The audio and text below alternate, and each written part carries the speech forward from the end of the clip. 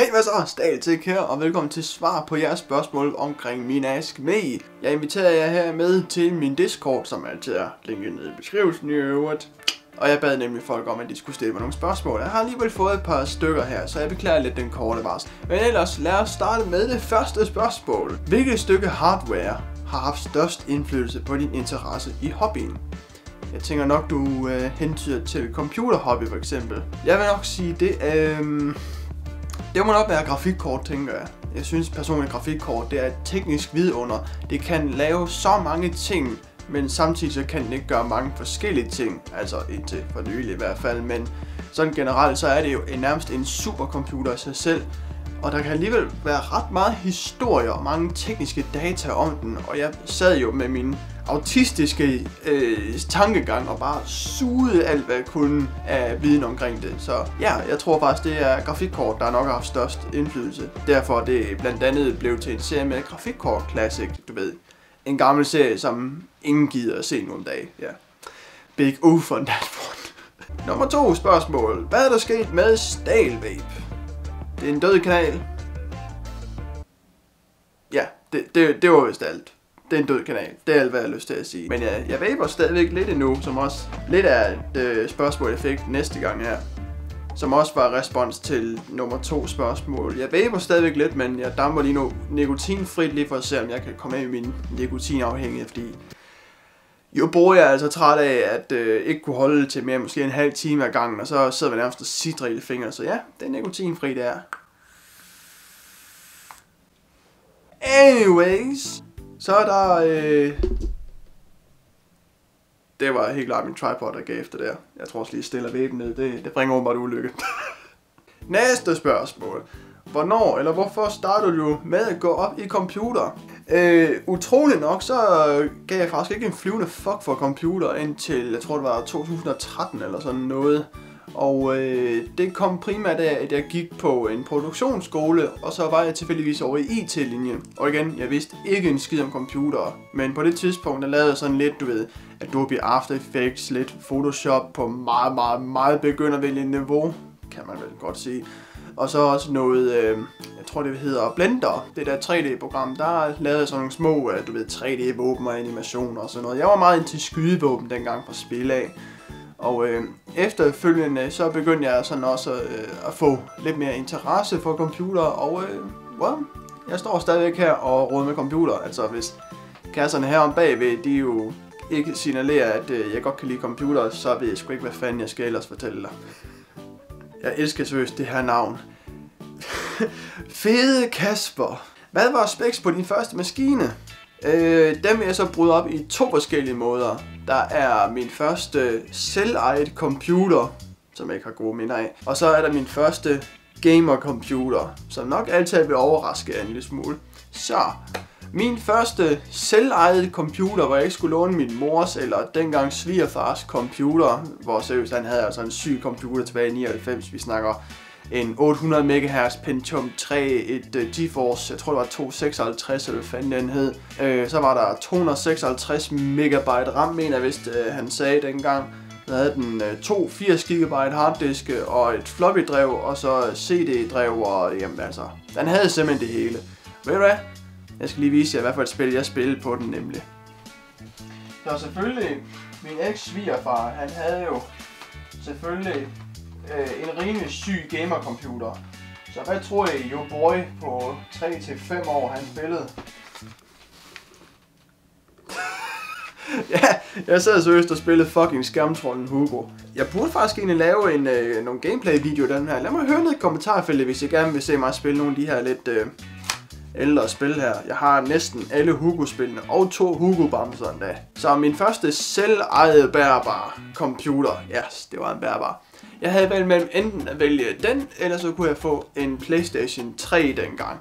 Den hed, øh, hvad var den hed? Acer Aspire 9310 eller sådan noget lignende, tror jeg hvis det var. Den var fra 2005 var den vist. Jeg fik den i 2006. Den havde en Intel Celeron M520, så det var en single core 1,6 GHz CPU.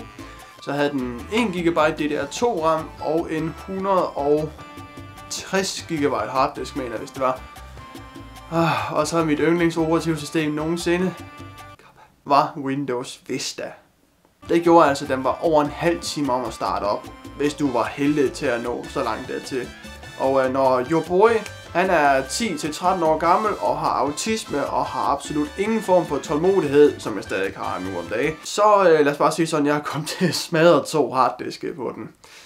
Ja, med min første gamercomputer, det var en Asus G750 JW hed den vist. Den havde en Haswell i7 quad-core CPU, GTX 765M grafikkort, 8 GB RAM og øh, et 750 GB hybriddrev.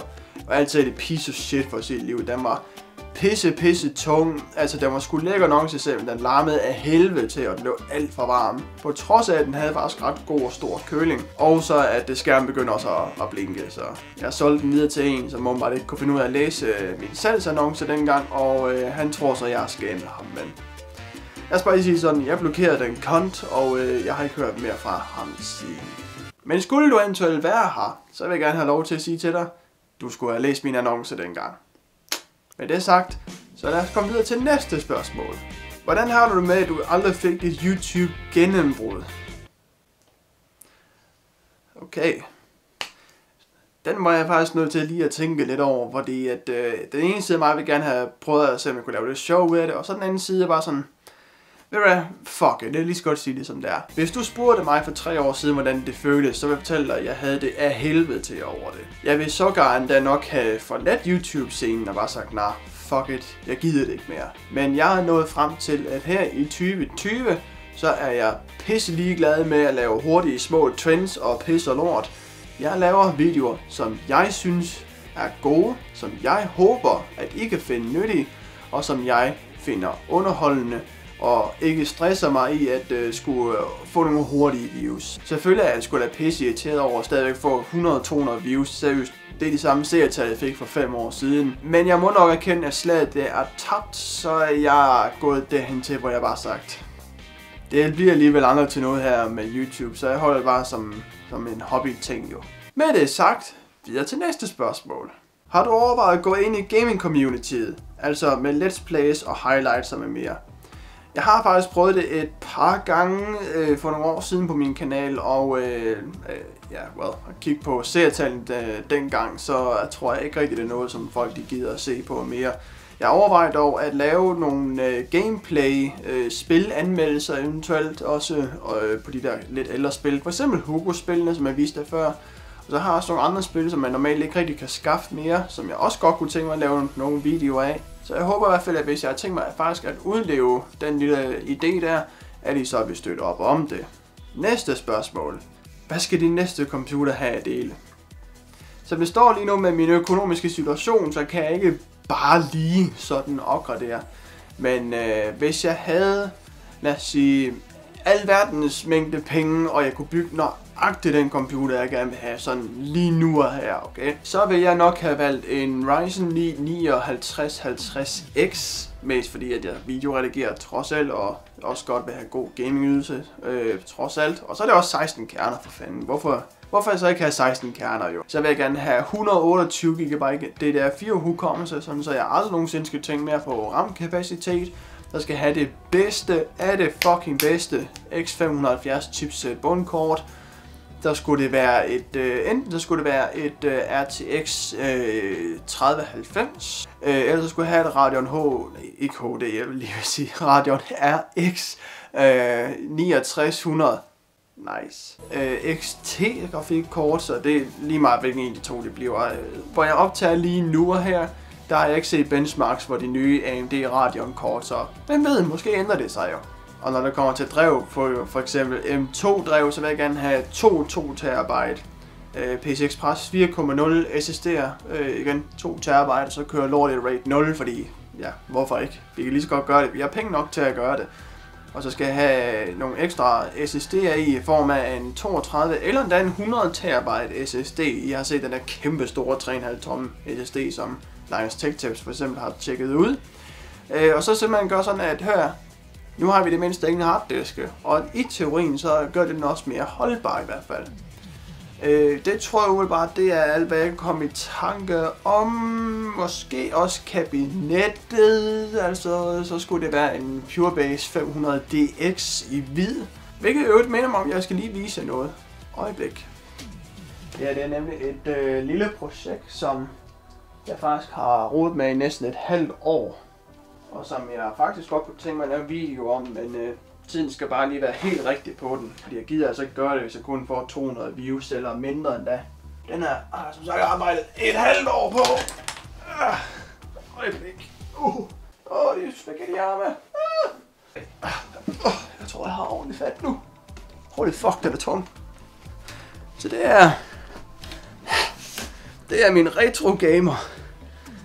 Der er første generations øh, 2008 Core e i7 Extreme Edition med en NH D14 køler. Og så to GeForce 285 øh, i SLE. Og et Asus P6T Deluxe. Og en 860 watt strømforsyning. Og så er der selvfølgelig Windows 7 i. i. Det er rigtig flotte Silverstone kabinet. Holy fuck, mand. Ej, jeg kan sgu ikke luften mere. Øjeblik. Holy fuck.